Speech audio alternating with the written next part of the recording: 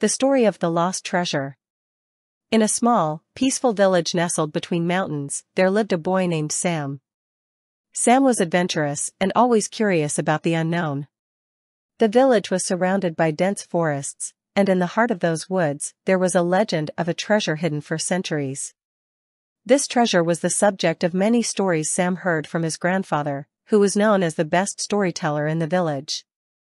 Whenever Sam sat with his grandfather, listening to tales of ancient heroes and lost treasures, he felt a burning desire to discover it for himself.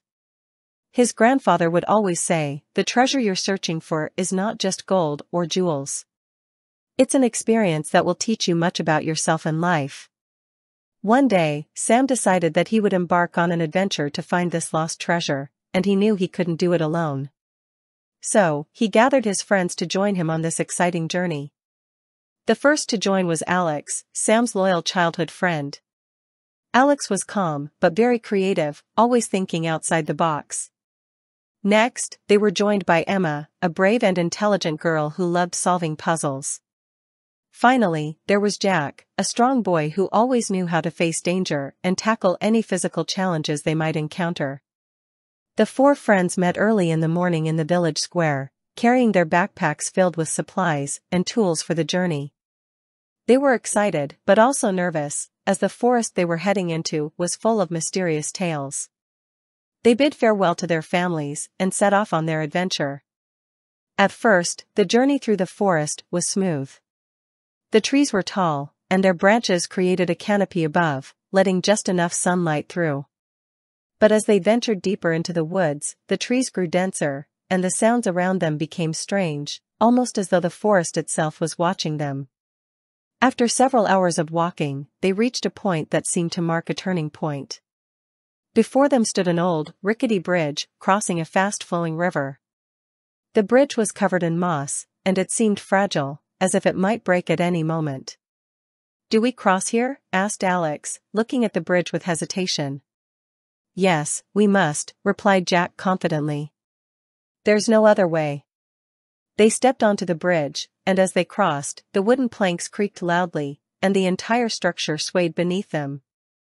It was a nerve-wracking moment, but they made it across safely. Once on the other side, they felt a great sense of relief, but also an uneasy feeling that something even more mysterious awaited them. They continued on their journey, and after several more hours, they came across something odd, a massive rock with strange markings etched into it. Do you recognize these symbols? Sam asked, staring at the markings.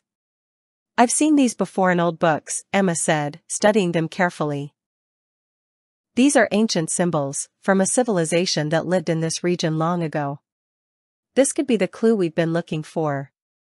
The group began to examine the symbols closely, and Alex, who had a keen eye for detail, read aloud, If you wish to find the treasure, you must follow the path to the heart of the forest. The clue was cryptic, but they had no choice but to keep moving forward. They continued their trek deeper into the forest, and as they moved on, the woods became even stranger. The trees bent in peculiar ways, almost as if they were guiding the group along the right path. Days passed, and they felt as though they were getting closer, though the forest was testing their patience. Finally, after what seemed like an eternity, they reached the foot of a mountain. At the base was a cave, dark and foreboding. Before the entrance stood an ancient chest, covered in dust and overgrown with vines. Is this it? Jack asked, gazing at the chest. Did we finally find it? But before they could open it, a deep, booming voice echoed from within the cave.